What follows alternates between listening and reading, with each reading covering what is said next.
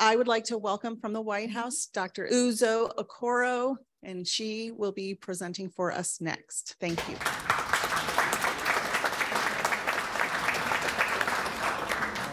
Good morning, all. Um, I hope you can uh, hear me. All right, thank you for that uh, warm introduction. I am Ezinne, uh, Ezinne rhymes with resume if we haven't met, uh, and I am um, the Assistant Director for Space Policy at the White House Office of Science and Technology Policy.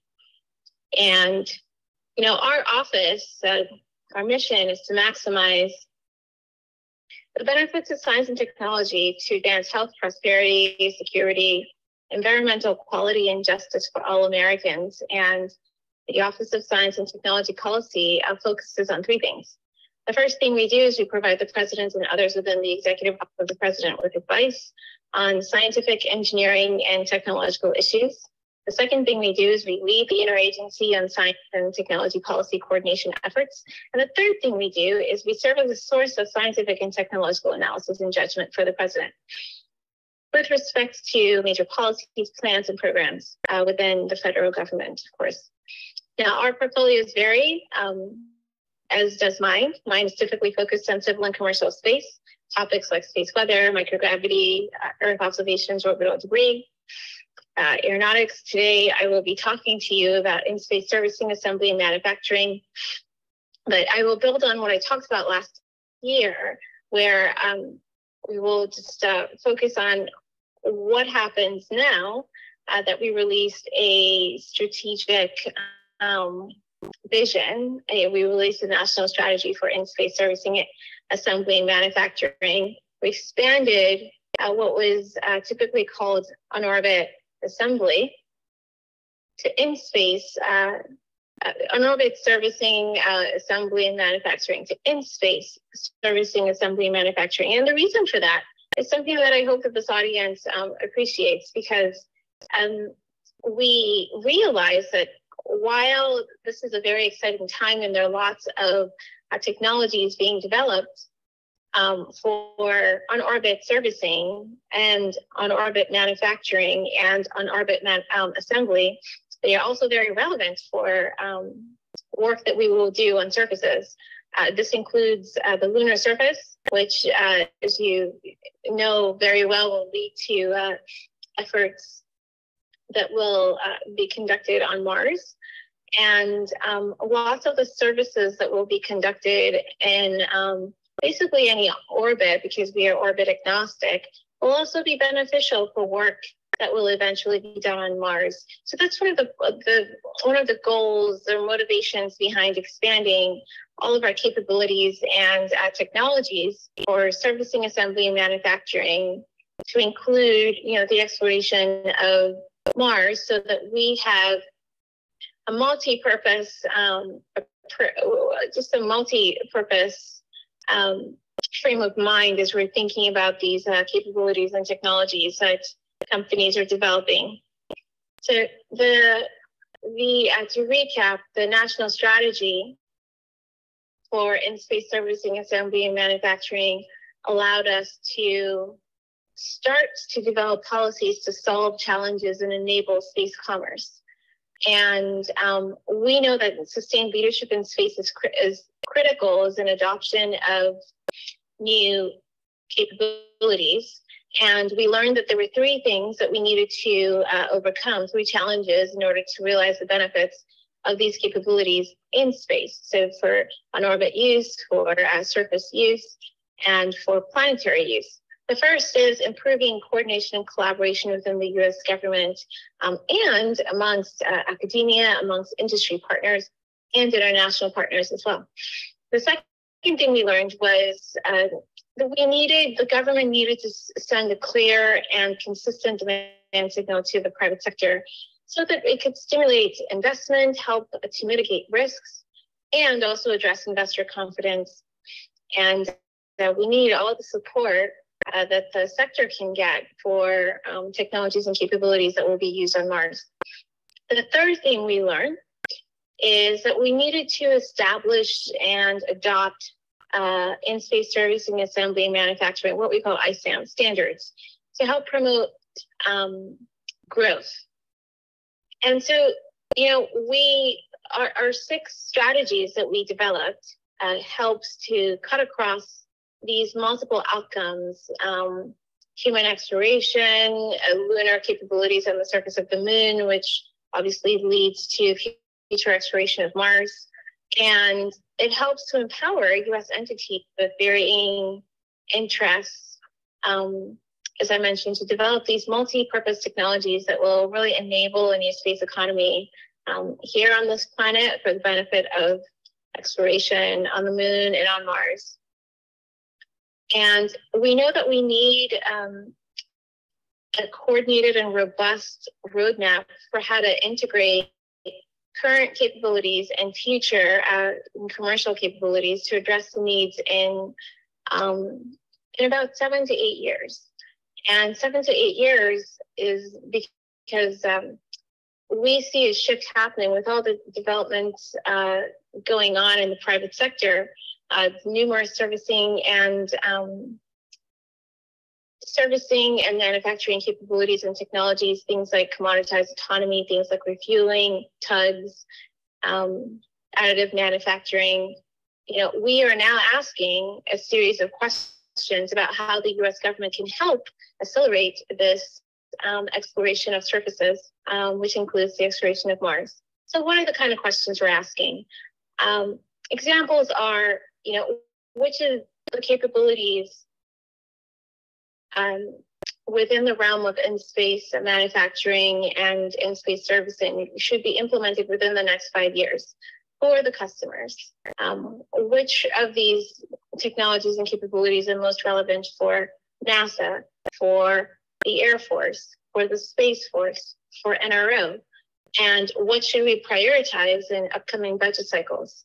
You know, as we consider how to create a demand signal, what models should the US government apply to the procurement of um, its procurement of commercial um, ISAM services? How do we accelerate the commercial sector's uh, technological innovation to continue to grow the economy? And are some of these tasks for the Department of Commerce alone or NASA and others? How do we prioritize exploration of, um, of Mars today and uh, the technologies and capabilities that are needed? Um, in addition to what I've said a few times already, which is, you know, what we what we um, develop for the moon will uh, benefit will uh, be of benefit to um, the exploration of Mars. And, you know, we also prioritize restoring America's global leadership in this administration. So, how do we cooperate uh, more fully or even better with allied nations and partners? These are the kinds of questions that um, we are seeking to answer as we develop this in space servicing assembly manufacturing plan, to execute on the policy that we cre- um, released last uh, April, and um, enable a bigger space economy.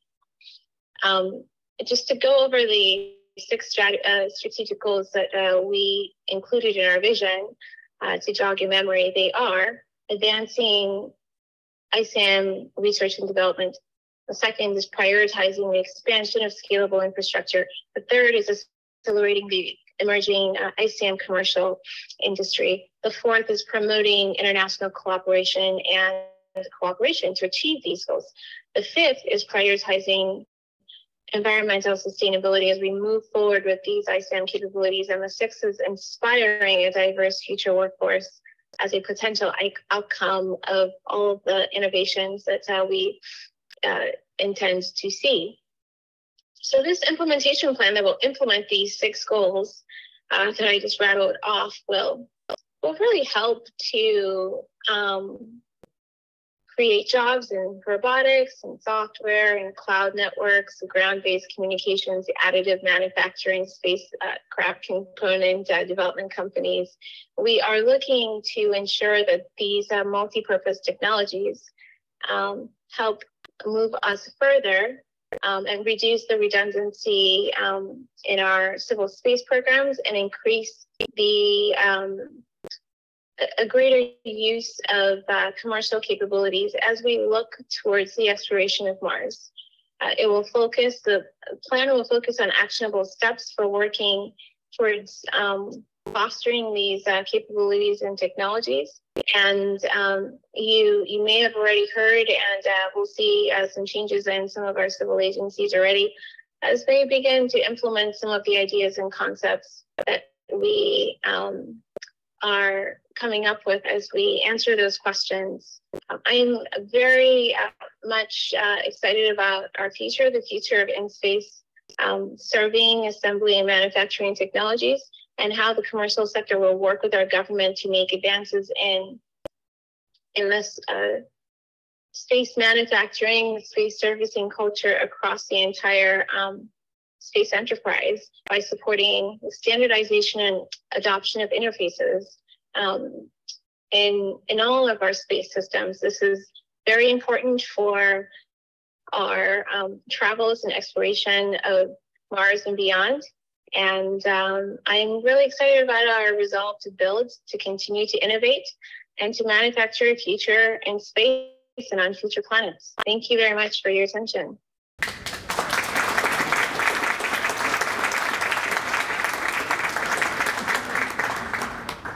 Does anybody have any questions?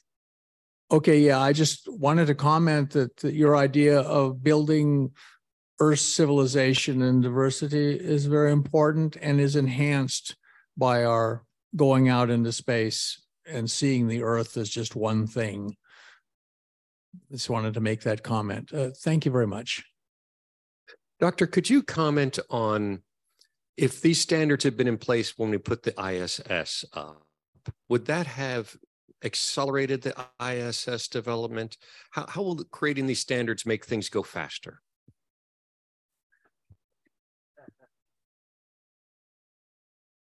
You know, I would rephrase your question for the future, uh, but I'll start by answering it in its current form. I don't know that we can really know everything that we could have done um, better at the time. But I do agree with your general um, hypothesis there, which is that if we did have, and we do have some um, standardization of um, of um, technologies and interfaces, uh, we currently do. That's how companies, you know, dock onto the International Space Station. If we had more, would we have been? Um, would we have created a, a more thriving sector? I think that there's a confluence of things that have led to the growth of um, space technologies um, writ large today. I mean, reusable rockets were not available um, to us in the way it is now uh, when the ISS was being built. The you know launch costs continue to to drop, and uh, that's because of the incremental um, advancements being made by the commercial sector. It's by the um, I think NASA deserves a lot of credit for um, the, the crew, commercial crew programs and some of the contractual vehicles and Space Act agreements that they've had in place to really accelerate the development that's happened that has happened in the commercial sector over the last 20 years. So we, given that we didn't have that, in addition to having um, increased standardization and uh, adoption of greater interfaces across our space systems, I don't know that that alone would have changed um, very much. But today, with everything, we really are at um, a, a critical juncture in history. You mentioned about sustainable technologies. What are those technologies and how will they benefit the American people? It's a great question. You know, this administration released a United States Space Priorities Framework on December 1st of 2021. The Vice President released it at the inaugural Space Council meeting, and it had two two main themes. The first themes were our space policies, and the second theme was um, how space should benefit humanity. And one of those top one of the topics under that section was on uh, sustainability. How do we um, uh, uh, just give you an example? of that uh, orbital debris, for instance? How are we mitigating um, debris, which is how we prevent it before launch? How are we tracking and characterizing debris when it's already there? And how are we remediating debris? So remediation of debris or repurposing it or recycling it, however you want to think about it, is a, an example of one of these uh, in-space servicing manufacturing capabilities and technologies. We are actively looking at um, how the U.S. government can play a role in accelerating the growing sector that, of active debris removal and how we can support companies and how we can support our mission concepts around um, making space uh, safer and more sustainable by um, reducing the amount of debris in space. Um, so you might be thinking, well, okay, you've answered the space bit, but how does it really benefit us here? Well, it does because if space is is um, safer and more sustainable, and there's less um, debris, then all our technologies that are in space that are used for the application for applications here on Earth you know, precipitation is an easy example. Weather prediction, crop yield uh, prediction uh, will be better. But more importantly, I mean, we also had um, recently in the last uh, three weeks a NASA mission that um, deflected, redirected an, ast- an asteroid, and uh, from coming towards us. So debris is not in the same category as um, an asteroid that's not man-made. Um, but debris does fall onto our planet sometimes. And so um, making, um, making technologies that help us to repurpose, remediate, and recycle debris also helps to keep us safer here so that we don't have um, debris uh, falling on to our planet. Thank you. Last question. Uh, thank you very much, Brian Bender with Politico. I uh, was going to ask you to look in your crystal ball a little bit. Um, you all have talked a lot about the Biden administration sort of stepping up its efforts to come up with this new kind of regulatory framework. How do you encourage in orbit servicing and this sort of whole new era of technology of how you, you know, launch, recover, reduce space debris? You have any sense of like what's coming down the pike? In other words, how soon might we see the administration promulgate new policies? Are there presidential directives coming? I know you're, talking with the industry a lot, trying to figure out what is the best approach, but give us some sort of timeline if you can on when, when we might see something. Thank you. Thanks. We actually released an orbital debris implementation plan in July of uh, this year. So we have shown um, actionable steps that agencies are taking after 11 months of coordination and convening and discussion led out of uh, the EOP here, the Executive Office of the President, to um, steps that we're taking to address sustainability, space sustainability through um, orbital debris mitigation, tracking, and uh, remediation. So that's one place you can um, look at steps that agencies are already taking to do that. Um, as far as in-space servicing um, and actionable steps, uh, we are currently working on this. We have been uh, doing so since uh, the strategy was released last April. And um, we hope to wrap up those efforts in a few months. And again, when an implementation plan is released, uh, quite like the orbital debris implementation plan is released at the end of July, the budget cycle we were in um, was the end of the 2024 budget cycle. So most of those actions that were not already implemented yet will then be um, will then move to the 2025 uh, FY 2025 uh, budget cycle. Um, so for in-space servicing, um, in, the coming months, as we release the plan, then it will it will uh, move to the budget, the appropriate budget cycle at the time. We already have some plans out that you can take a look at for what we're doing um, and the timelines that the agencies will be accomplishing. Thank you so much. Thank you so much, Dr. Rizzo